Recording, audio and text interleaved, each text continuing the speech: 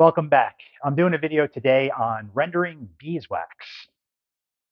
Started beekeeping about 10 years ago, and from the little bit of honey harvest in the beginning, I kind of just discarded all my, my wax cappings when I extracted honey. As time went on, I started realizing this is uh, probably a valuable resource that I can kind of put back into the business. You can sell that wax, you can get into candle making. So about years, I don't know, maybe six, five, six, seven in that area, I started saving my wax cappings and I wasn't doing anything with it. I was kind of intimidated by the whole rendering wax process. And I just, it was one of those things that always got put on the back burner.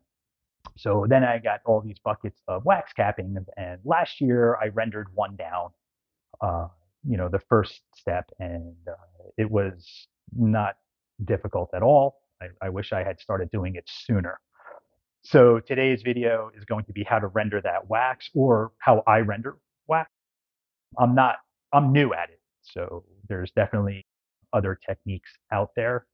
So we're going to get started and the things you're going to need is a big stock pot, a heat source, your wax cappings, and a stick, five gallon bucket, and something to strain. Uh, very fine cheesecloth.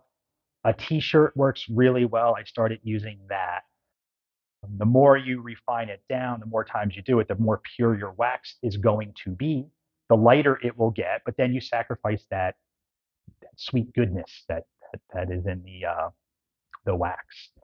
Um, I'm going to get started. I'll set up the camera. I'll take you step by, you know, step by step, and I'll try to edit out as much as I can to make it a pretty quick, basically separate the wheat from the chaff, so to speak. So uh, I'll be right back. Okay, so the tools and supplies that you're going to need for rendering the wax is the wax cappings, obviously. You need a big stock pot and a heat source to heat up the water in the stock pot because that's how you render the wax. You're going to melt it into water. Uh, a little stir stick is kind of handy. A little shovel just to scoop out your wax cappings. Clothespins.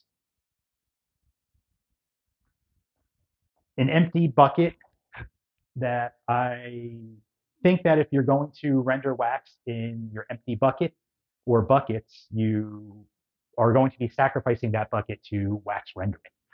I don't think you'll be able to clean that out back to a food grade quality. So I haven't even tried and I'm not going to. I'm just going to save that for wax rendering. You're also going to need some sort of filtration supply. And I started using a t-shirt. Uh, you could use cheesecloth. You could use a real fine colander if you could find one with fine enough of a mesh when I first started doing this, I used my honey filter and it ruined it. So I won't be using those anymore. And then I switched to cheesecloth and it's all right. The cheesecloth is okay, but I just, you always have old t-shirts around.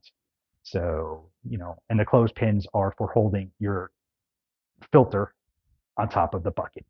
So I'll set the camera up and we'll go through the procedure. Okay, so what we do is I have my water all set up in here. It doesn't have to boil. In fact, I don't think it should boil because wax can get scorched. I'm not, I know like uh, in a saucepan with just the wax, um, you don't want it to go over like 180 degrees. I'm not sure if the water offers forgiveness or not. So I just, I don't bring it up to a boil, uh, a simmer at best. Uh, I have a feeling the water does kind of add some forgiveness. So you're just going to add your wax cappings. I haven't figured out a ratio of um, water to wax in this bucket. Uh, I fill this stock pot up about a third of the way because remember you have to dump it. So and it gets a little heavy and laborious, especially uh, a little heavy, and especially with it being really hot. So it can become uh, a bit of a task. So third of the uh, water, and then I put about, I've been doing about half of a five gallon bucket of cappings. I don't know what would be too much wax to water. I haven't experimented enough with that. I would say equal parts wax to water is a real safe bet. I have gotten away with doing half the bucket and I haven't pushed the envelope beyond that. So we got our wax in there. And what's going to happen is that wax is all going to melt. And it's it's kind of cool what happens. The whole way this works is the wax is the lightest thing. When it melts, it's going to all float. The water stays below, and all the slum gum, which slum gum is all the undesirable stuff that comes out of the wax, any larva, any bee parts, you know, any dirt, anything that you, you just wouldn't want in your wax. This is what we're filtering out. That is called slum gum. So the slum gum kind of gets layered under the wax because when we get done melting all this wax down, we're going to pour it into our straining device, which is right there. It's just a t-shirt with some clothespins holding it down.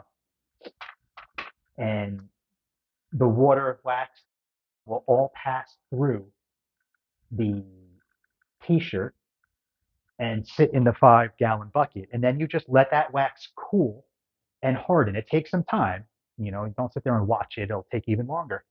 Uh, but then when that wax completely cools, there's going to be basically a disc of wax floating on top of water and then slum gum in that order. That disc of wax, when you pull it out, is going to be a little dirty on the bottom still um, because it was sitting on that slum gum. So there's there's more steps to rendering the wax down, and basically you just repeat the process. And the more times you repeat it, the more pure the wax is going to be.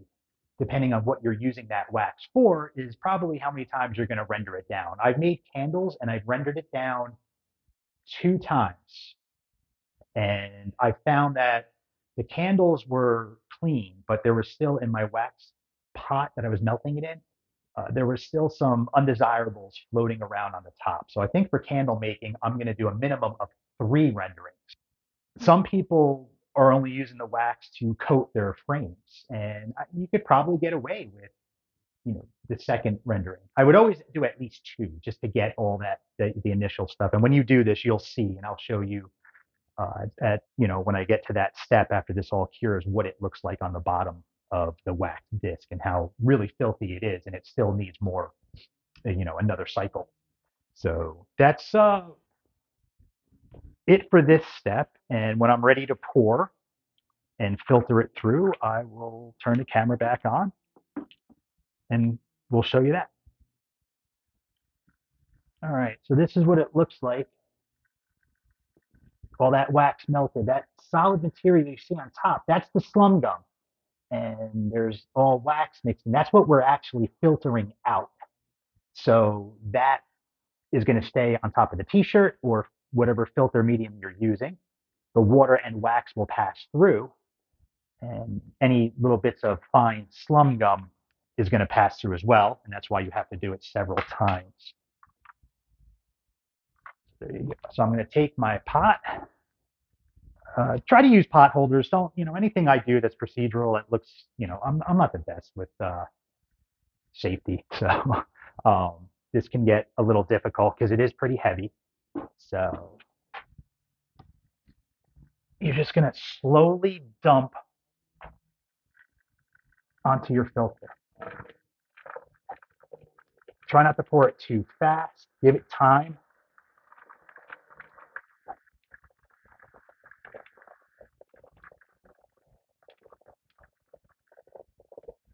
it filters out really fast at first and then it sometimes slows down because the filter does get a little clogged and then it also cools a little bit so the wax gets a little thicker and uh, it, it does slow down but it, it'll all go.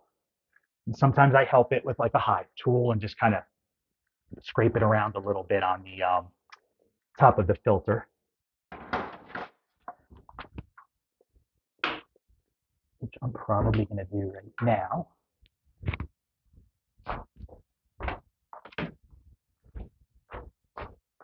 So you could kind of just gently, you don't want to poke a hole in your filter, obviously.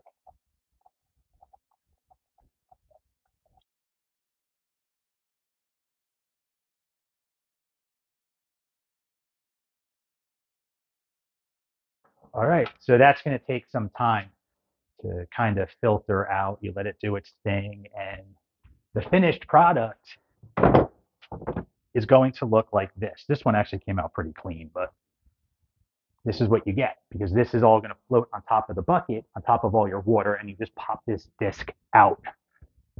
So, and these are ones that I render down one more time. The wax is a little bit cleaner.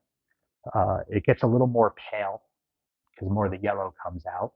Just a little bit of a, another side note, if you keep rendering it and you keep doing this cycle and this process, the more you do it, the lighter your wax is going to get. However, you're also going to lose that very sweet beeswax smell. So if you're looking for hobby grade and you want that wax to be really light because you want to dye your candles for Christmas or you know you know any of the holidays and you want some you know add some color to your candles, you're probably going to want to render it down even more to get as much of that color as possible. But again, you are sacrificing that smell and that beeswax property, so to speak. So you could also buy molds to store your wax. I plan on keeping my wax in this. I just made these last night. I bought a mold. Uh, it was 50 bucks and it, it does two of these. They're, the, the good molds are pretty expensive. They're silicone if you guys want me to do a video on that, please let me know and I'll show you actually pouring the wax into candles um, or at least the molds. The candles I'm not good enough at yet where I'm comfortable showing people, you know, how I do it because I'm still experimenting myself. So I don't think I'll do a candle video, but if you want to see how I heat up the wax and make the mold, you know, for the, the, the bricks of wax, you know, let me know. I'll, I'll do that. All right, I will come back when this all filters through and we'll show you what it all looks like. All right, so that all filtered out. It took about 10 minutes, I'd say, and I was periodically kind of scraping the bottom of the t-shirt with a hive tool to kind of help it along. You see all that chunky stuff that we refer to as scum. So that's all the really heavy stuff, and that's why you, you have to do it this process several times. Just an update this is what it's starting to look like. That hole in the center, like I suspected, would fill in. And it's all starting to harden. And this has been about, I'm going to say about a half hour. So you can see how long of a process this takes. Um, basically, it was enough time for me to render up, you know, another batch and get it into there. And I stopped doing that and I came over here and that's where we're at.